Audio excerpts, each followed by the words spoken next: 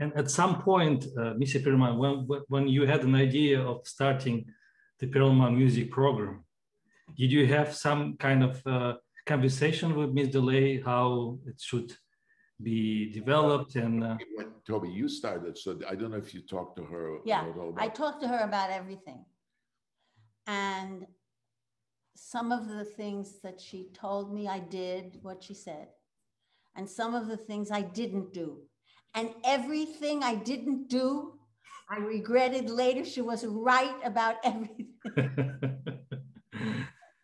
but she was extremely helpful in those beginning couple of years because I had no idea what I was doing.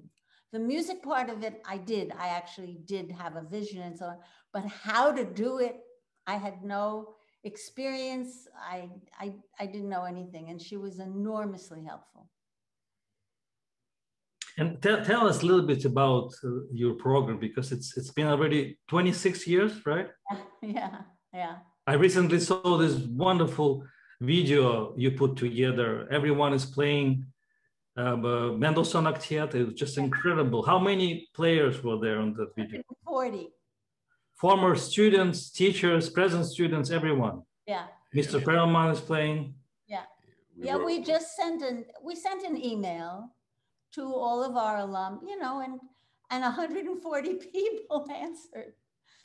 But in a way, you know, it wouldn't happen if I think if it was not for pandemic. So in a way, it was even a better way to celebrate and to bring people together in, in a sense. Because I think this this video was just incredible. How musically, I'm not saying only technically everyone played, but it was really sense that everyone is doing this in, in the one room. Yeah, it was. Yeah. It, I, am I'm, I'm amazed. I'm amazed at how it, it turned out. I mean, it's quite incredible. Yeah. It's quite incredible. Yeah.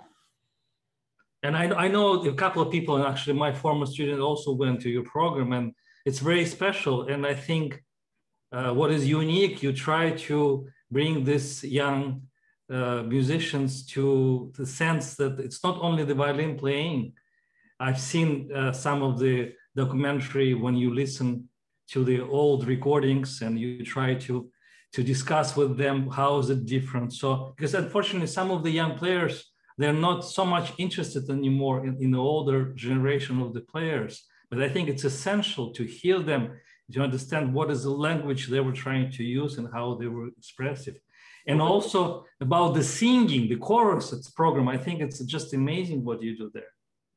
Well that's that's that's that's your idea you know you you you know, everything that looks a little bit unusual and fantastic, it's her idea. No, it's, it's really true. It takes a village. It's it, it, we have wonderful faculty, and we we do have a point of view, and part of the point of view is that although it's very competitive to get into the program because we usually have very few openings because people are allowed to stay through their 18th summer. So usually it's just a few spaces.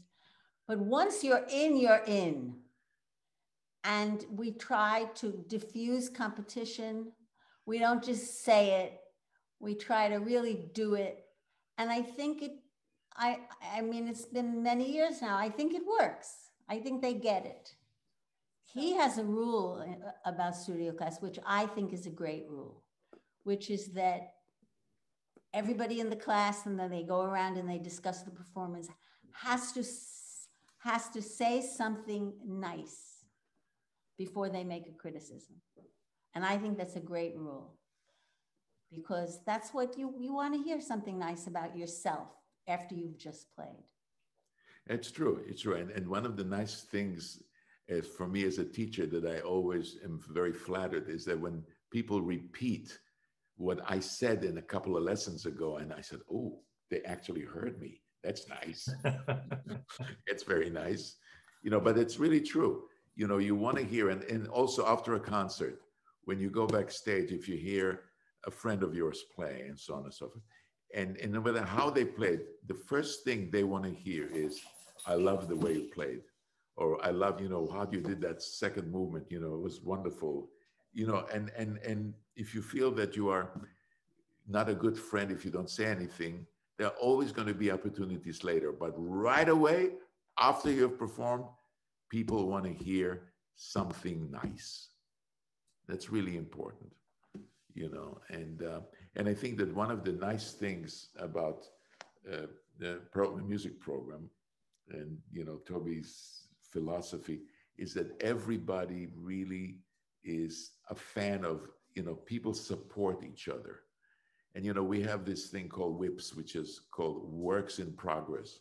Mm-hmm. and sometimes you know sometimes for me sometimes somebody's very very nervous and it's not very very good. You should see how people go backstage and they give them the support and you know the and, and so on and so forth. And they cry with them and so on and so forth because people get you know uh, very upset if something doesn't go right and so on. That for me is the most important thing. It's it's for for that what makes pmp so special is not so much what you play but it's your humanity. Is you know how you you know how you treat your fellow student your your your friend and so on. That's really very very important